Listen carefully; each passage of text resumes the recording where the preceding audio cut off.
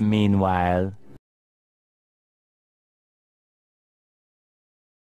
Hello, Samir. You also got spectacles? Yes, uncle it's common now, as online classes and all studies are on devices. Oh yeah. So, what are you doing nowadays? Uncle, I'm in 10th class now. And, I'm taking some help from YouTube. Okay, so, you should subscribe EduGain on YouTube.